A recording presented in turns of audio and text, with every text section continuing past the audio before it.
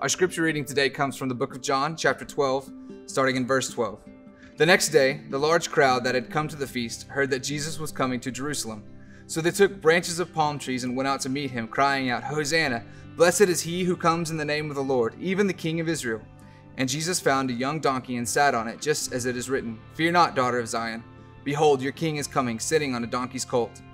His disciples did not understand these things at first, but when Jesus was glorified, then they remembered that these things had been written about him and had been done to him. The crowd that had been with him when he called Lazarus out of the tomb and raised him from the dead continued to bear witness. The reason why the crowd went to meet him was they heard that he had done this sign. So the Pharisees said to one another, You see that you are gaining nothing. Look, the world has gone after him.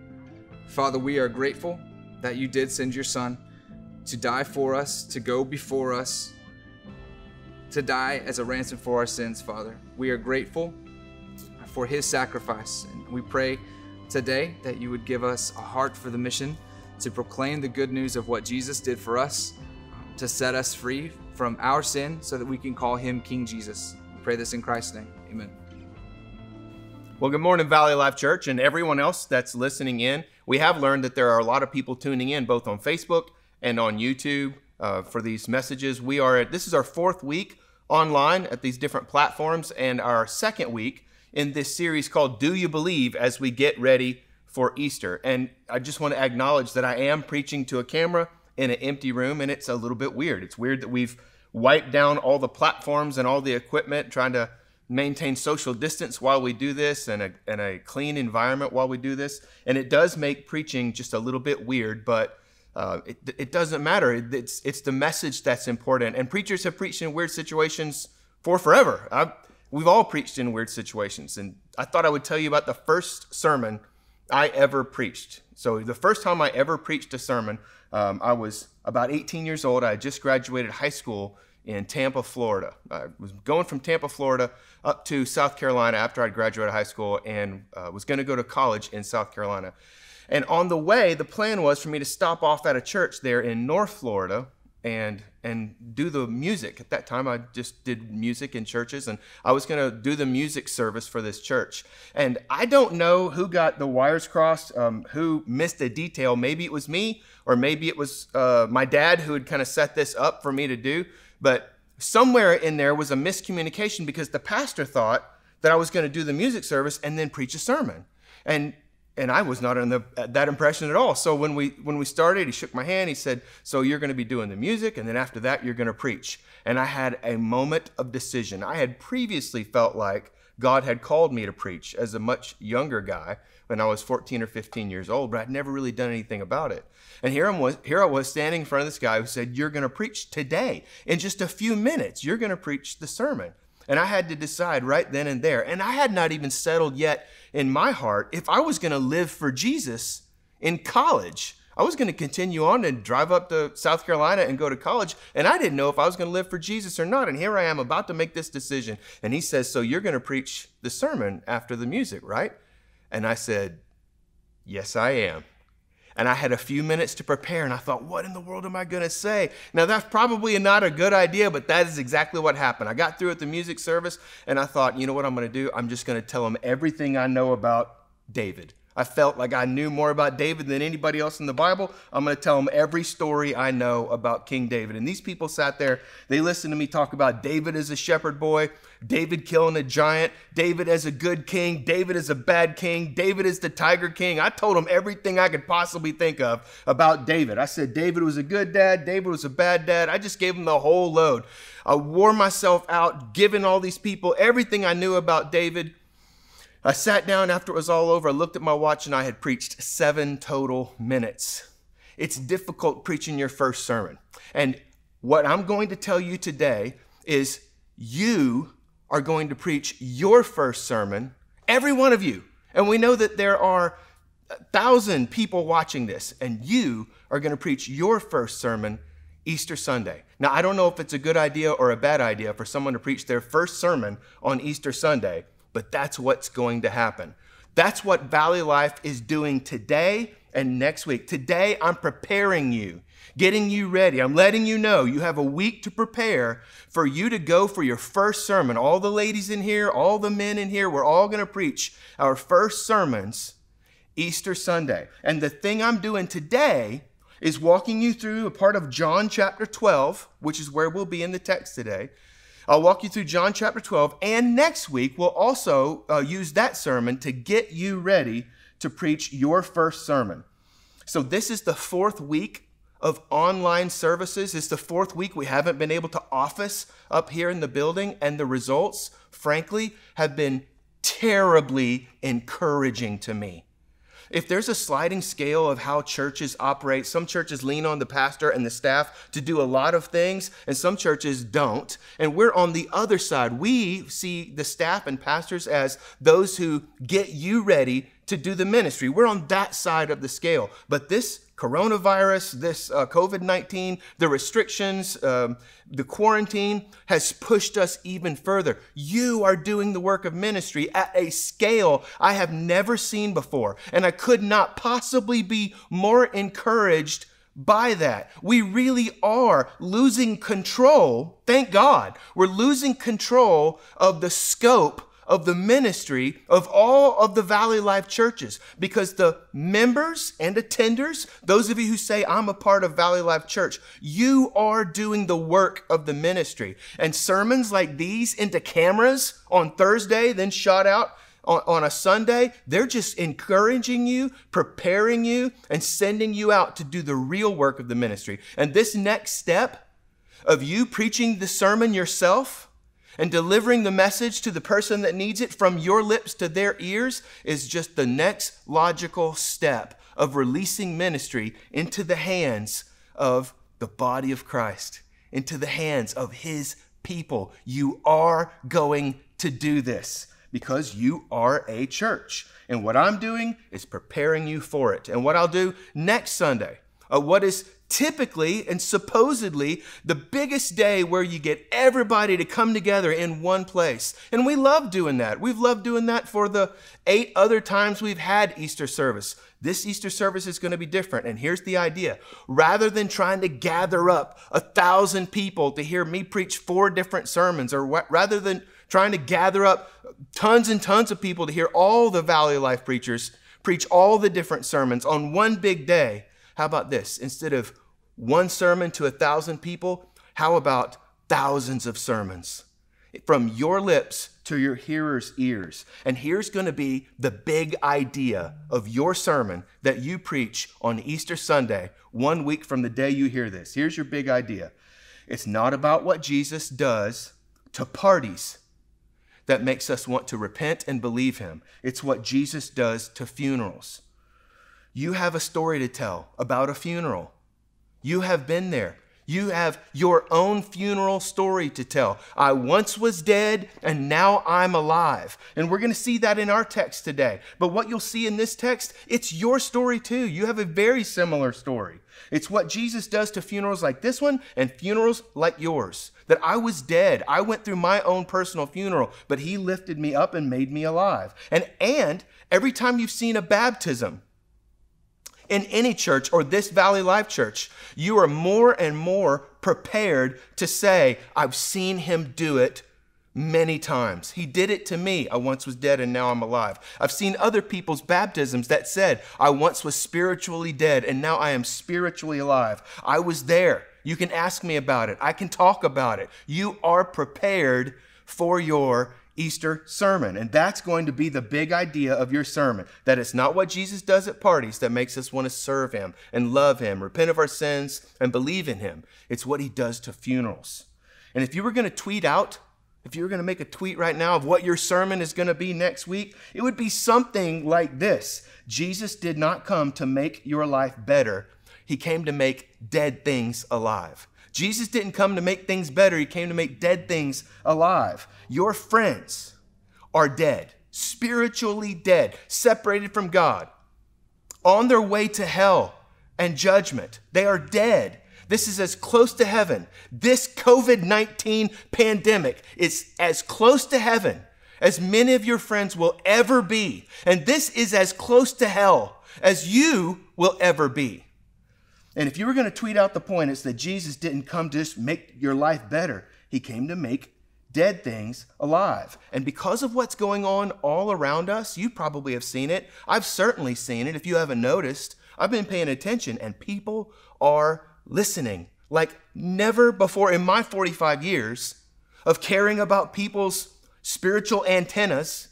I've never seen people listen like they're listening now. I've never seen people open like they're open now and asking questions like they ask now.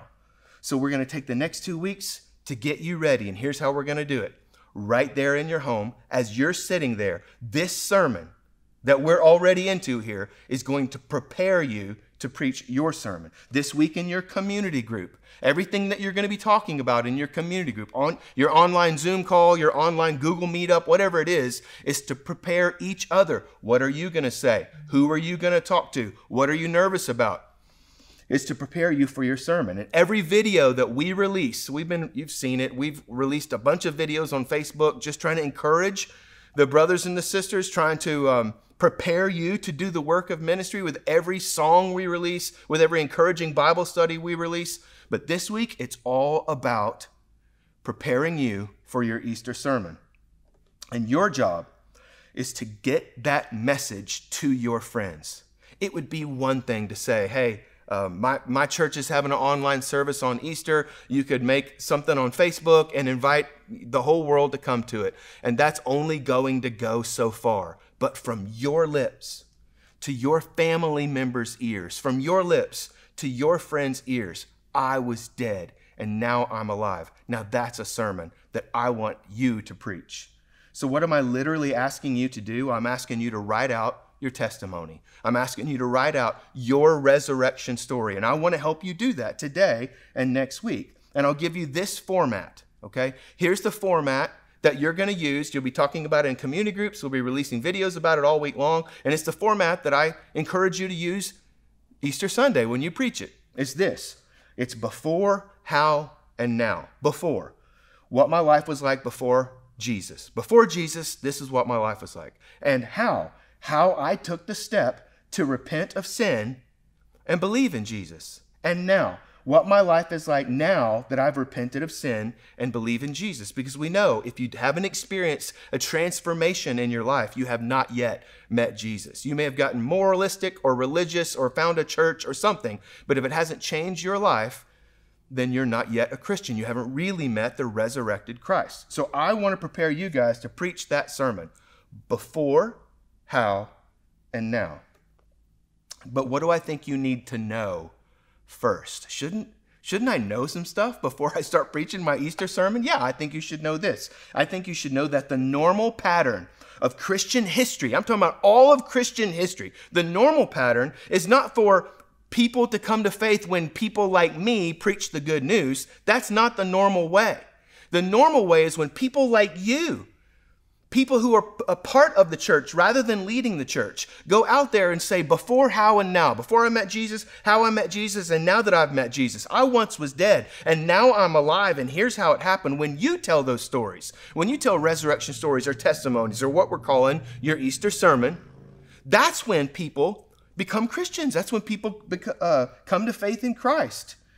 It's when people who have witnessed a resurrection tell their story people who have seen that it happened to me and they tell that story. That's when people come to faith. So let's put away the idea that you're going to send a link to my sermon and then your dad is going to become a Christian. That's probably not the way it goes. It probably sounds a whole lot more like, Dad, this is what happened to me. So I want you to know that, that that's the normal way. The second thing I want you to know is we want you to know that you have been empowered for this.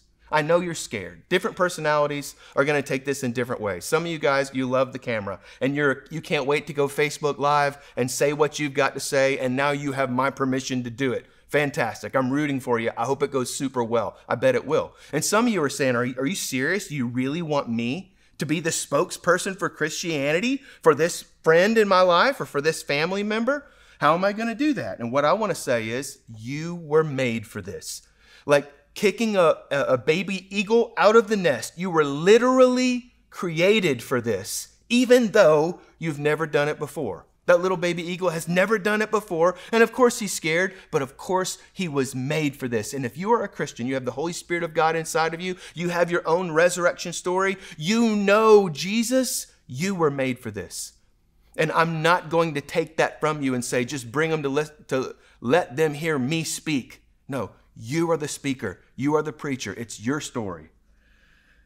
So, as you go through our text today, John chapter 12, here's what I want you to be feeling. What I want you to feel? Well, at a time when some businesses and organizations and even churches are understandably pulling back, slowing up, slowing down, whatever, we're expanding. We're pushing forward. We're opening up new avenues to ministry, trying to open up new doors into heaven for, for more people. I want you to feel, rather than wanting you to feel cared for, rather than wanting you to feel safe or secure, what I want you to feel, I want you to feel like an agent of the kingdom of God. Greater than safe or unsafe, greater than feeling secure or insecure, greater than even life or death. Christians are built for eternal matters. And what I want you to feel is the eternal adrenaline flowing through your veins. You were made for this. I know you may never have done anything like it before, but this is what you were made for. So, what do I really want you to do? I want you to preach your sermon. I once was dead and now I'm alive. Before, how, and now. And I want you to expect with hope filled, faith filled expectancy that the whole world will come running to Christ. Your little corner of the whole world will come running to Christ. And you'll see that today in our text.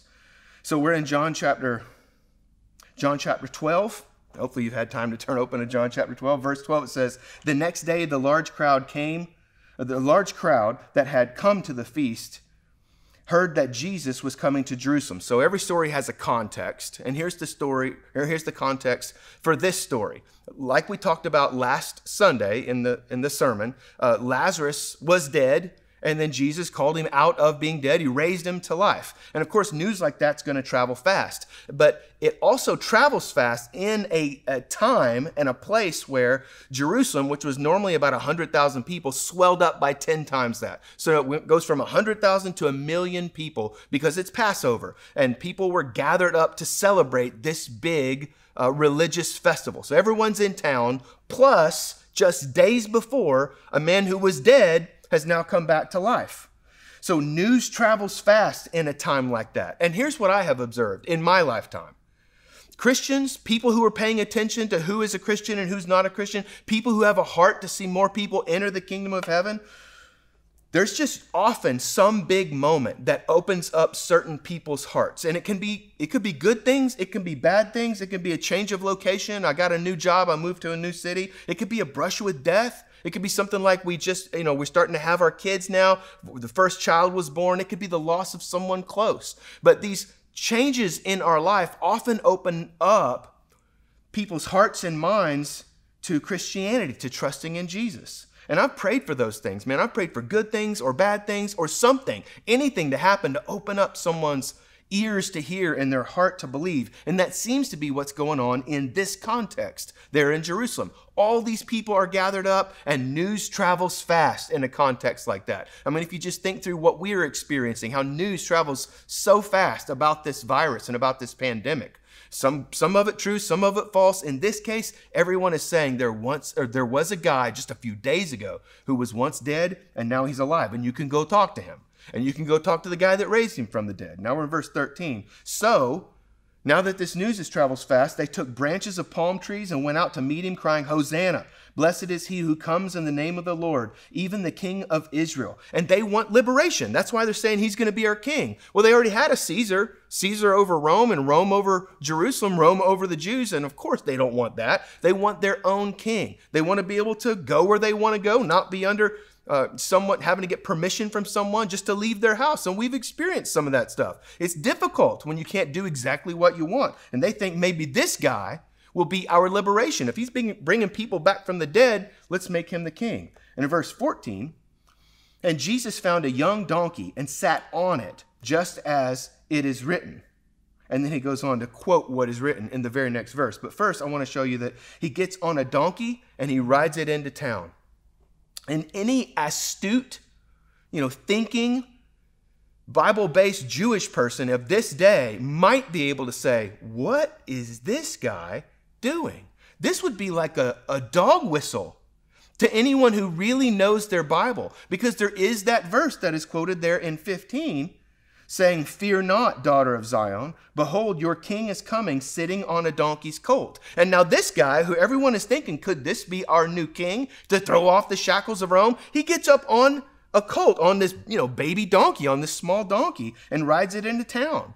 And it's the it, it, goes back to something over here in your Bible in the book of Zechariah, written 500 years before these events took place where it says this Zechariah wrote this Rejoice greatly, O daughter of Zion. Shout aloud, O daughter of Jerusalem. Behold, your king is coming to you. Righteous and having salvation is he. But then this humbled and mounted on a donkey, on a colt, the foal of a donkey. Now, ever since Zechariah wrote that, again, 500 years before Jesus was born, rabbis and, and scholars wondered why would Zechariah be moved to write it like that? To say, Behold, your king is coming, and he comes in majesty, riding on camels. That would make sense if he said he comes in, in power, riding on an elephant or on this great war horse. All that would have made sense. But it's really weird and had always been thought of as super weird that he that Zechariah says he's going to come, he brings righteousness, he's going to uh, bring peace, he's going to uh, make a lot out of out of Jerusalem, and he comes in riding on a baby donkey. And what Jesus is doing here is two things at once. By crawling up on that donkey and riding it into town while people are praising him and saying he's going to be the next king, he's fulfilling Zechariah's prophecy. He knew what he was doing. He got up on that donkey because he said, Yeah, that's right. I am the fulfillment of the Old Testament. And he's hinting for anybody who'll pay attention. And John later says, I started paying attention after it happened. But for anyone who'll pay attention, he's hinting at the fact that his rule will be one that comes about by his crucifixion. His rule and his taking over as king will not be one that comes in power, but one that comes in humility. But if you think about it, he's saying this listen, if I just came in and made war against the Romans and liberated you from Rome, you would still have your bigger problems. You would still die. You would still die in your guilt of sin. You would still have the problem of a meaningless existence. Jesus is saying, I'm going to be more than a king. I'm going to be more than a political liberator. I'm going to say, I'm, I'm going to do more than saving you from, from Rome. Or in our case, maybe you could say, He's going to do more than saving us from getting sick. He's going to do more than saving the world from a pandemic. Even if He wiped away all of our fears over what's going to happen in the next eight days to two weeks he could wipe away all that and we would still be suffering from our bigger problems, our meaningless existence. What about our guilt? What about our shame of things that have happened to us and things that we have done to other people? Our fears are more than sickness. They're more meaningful than sickness. Our big enemies are universal enemies. And by him saying, I'm going to get up on this donkey, and my rule will start in humility when I lay my life down to free the people from the real enemies. In verse 16, John said, His disciples did not understand these things at first, but when Jesus was glorified, then they remembered that they remembered that these things had been written about him and had been done to him. So he says it was hard to understand when it happened, but in hindsight, we could see it. Jesus is going to have to die to free us from more than just Rome. In verse 17, the crowd that had been with him when he called Lazarus out of the tomb and raised him from the dead continued to bear witness. Now, that sounds just super odd the way it's written here in the English translation, but it does make a lot of sense if you think about it. There was this crowd that had seen Jesus pull Lazarus out of a grave, and now everybody, just a few days later, comes into Jerusalem. What was a town of 100,000 is now a million, and then there's this pocket of people who said, I'm telling everybody I know that Lazarus was dead. That guy right there who's in town to celebrate this thing, he was dead. I saw him. He was in the grave for four days. And then that guy right there, he's the one that raised him. That's what it says. The crowd that had been with him when he called Lazarus out of the tomb and raised him from the dead continued to bear witness, which simply means they told everybody and they would not be stopped. And people are starting to listen. People are really starting to listen to Jesus now, not because he had walked on water, not because he preached a fantastic sermon on the Mount, not because he was willing to speak truth to power, and all those things are true, and he did every one of them. But they're starting to listen now because he brought the dead back to life. I once was dead, and now I'm alive. Now, in verse 18, the reason why the crowd went out to meet him was that they had that, that they heard he had done this sign. There was no stopping it now. If if word started to spread that a man brought another man back after he was dead for four days, and both of those guys are here in town and you can just go talk to them, there is no stopping the spread of Jesus' fame. Of course, the Romans tried to stop it. They didn't want anything like this bubbling up under their rule. And of course, the religious leaders of the Jews, the, called the Pharisees, they tried to stop it. They didn't want any of their power being taken away. But they were helpless. They tried to stamp it out, to eradicate it, to extinguish it, but you couldn't. The more they tried, the further it spread. It infected country after country and culture after culture. And you know that it's true because we sit here in Phoenix, Arizona, of all places, still worshiping this man who was God. There is no cure for Christianity. Once it starts, it cannot be stopped because death cannot stop it. In fact, death and resurrection is what started it. And if death won't stop it, what in the world will? And this is why you have to. This is why you must preach your Easter sermon. Because it's not what Jesus does at parties that makes us repent and believe. It's what he does at funerals. It's death brought to life. So it's in other words, it's not what how Jesus improves our lives. It's how he makes us new after we've been dead. This is where some people kind of get confused. This is where some people start to think that they have to be awesome and they have to live an awesome life or a very religious life or a very fulfilled life in order to tell people about Jesus. But that's not the content of our message. The content of our message is not, I once was not awesome, but he made me awesome and I can prove it. That's not our message at all. Our message is, I was dead and Jesus is awesome. He brought me back to life. So, right now, while you're watching this, me, this is what I'm doing. He brought me back to life right now. That's what Lazarus would say to you right now. That's what John in his writing here is saying to you. We're not saying I was a loser and he made me a winner. We're saying that we have were dead and it was as close to heaven as we would ever get was living in this world. But he has made us alive. And now this life is as close to hell as we will ever come. The text says that the whole world has gone after him. And that's what I want. And that's what I want you to expect is that your corner of the whole world, when you tell your story, may very well, you couldn't blame them if they did, if they all went after him.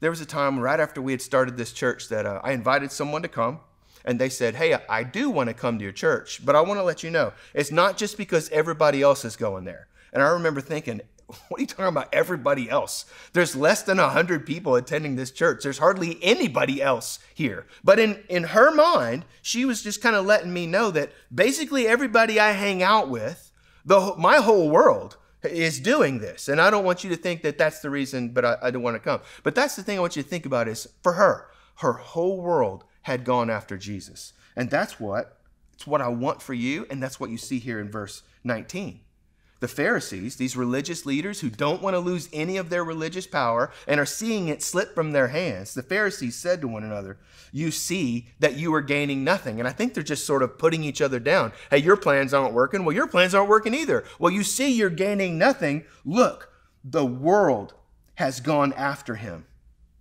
And there's a way when Jesus comes to town, and it happened to these Pharisees, there's a way when you hear the message or you see its truth, or when Jesus comes into town, for you to gain nothing. And the Pharisees are saying that that's what happened to them. And the way that it happened to them is when you don't want Jesus to take anything away from you, when you can't give up what he wants to take away. And the Pharisees knew if the whole world goes after him and if I go after him, I will lose. And there's a place in John where they say that. They say, we'll lose our position, we'll lose our power, we'll lose our place and our privilege.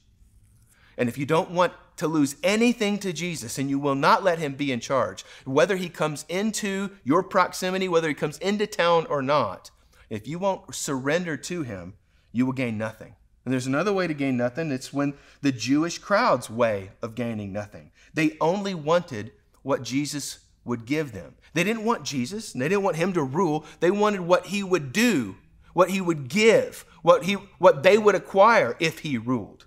And in neither case did they get what Jesus can bring, which is himself. But then there is a way to gain everything when Jesus comes to town. I want you to hear that if you are not a Christian, there is a way to gain everything when Jesus comes to town, and it's this. It's from the book of Romans, chapter 10, verse 9. And it's what ends up happening in this story. And I'll tell you about it next week on Easter Sunday when I preach my sermon. And mine will go out online.